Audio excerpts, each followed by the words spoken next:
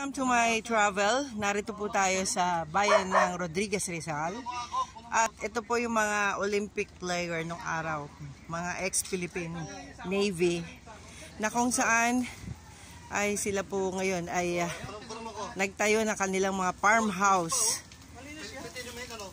dito sa Rodriguez Rizal.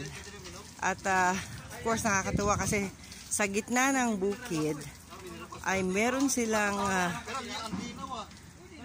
meron silang magandang kapaligiran. Kung makikita po ninyo, yan, dinidevelop nila ang kanilang magagandang bukirin. Yan. Yan. Bawat bukid, bawat ano, ah, bawat sundalo dito ay ah, nakabili ng mga lote dito at dito pinatayuan nila na kanilang mga farmhouse. Nakakatuwa at uh, this is my first experience na umakyat sa bundok. Ito po ang inyong lingkod, Juvie Guzman, right here at Rodriguez, Rizal.